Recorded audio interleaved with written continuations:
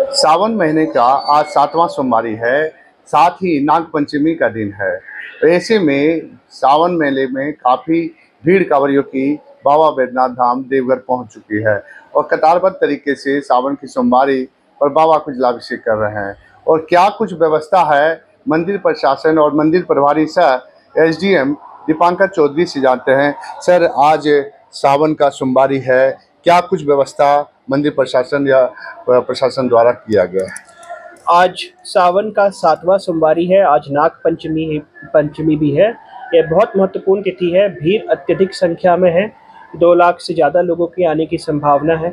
इसको देखते हुए जिला प्रशासन डीसी सर की अध्यक्षता में और डीसी सर ने स्वयं पिछले दो तीन दिनों में संपूर्ण रूट लाइन का कई दफ़े निरीक्षण किया है।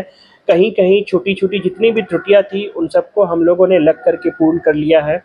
मंदिर प्रांगण का क्यू कॉम्प्लेक्स का डीसी सर के द्वारा मेरे द्वारा बार बार निरीक्षण किया गया है और हमारा जो एक रोबस्ट सिस्टम बना हुआ है फुली फंक्शनल है हम युद्ध स्तर पर तैयार हैं आज की क्या सर लग रहा था कि अप्रत्याशित जिस तरह से भीड़ बाबा बैद्यनाथ मंदिर पहुँच चुकी है और कदारवत तरीके से खड़ी है रात्रि से ही तो लग रहा था कितनी भीड़ आएगी?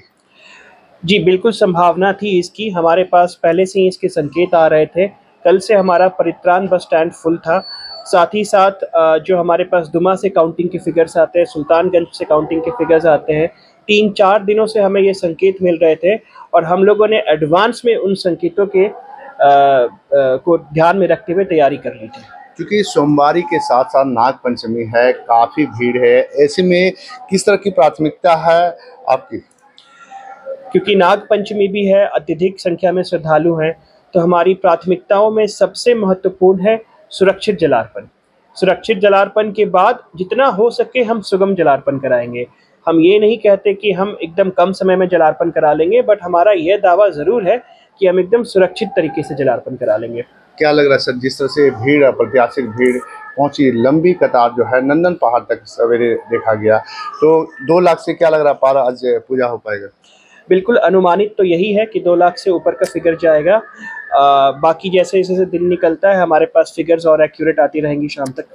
तो अभी हमने बात किया मंदिर प्रभारी सर एसडीएम दीपांकर चौधरी से। इन्होंने साफ़ कहा कि जिला प्रशासन और मंदिर प्रशासन की मुकम्मल व्यवस्था की गई है जिससे जितने भी सु- श्रद्धालु बाबा बैद्यनाथ धाम आए वो सुगमता पूर्वक जलाभिषेक कर सके। कैमरा पर्सन मेरे देव के साथ रंजित कुमार समाचार प्लस देव।